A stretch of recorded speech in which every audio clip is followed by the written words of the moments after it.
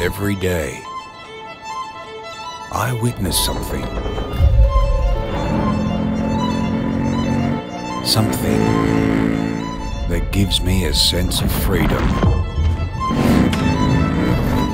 and a sense of being reckless. Where speed and freedom become extremity of itself.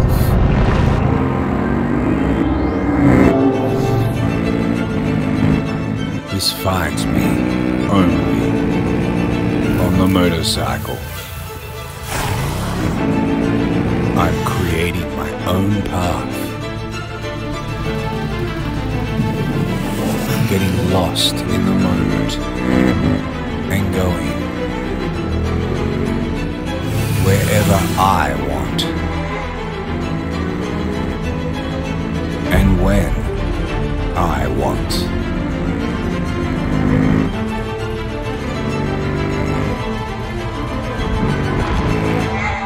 I'm running with these statements.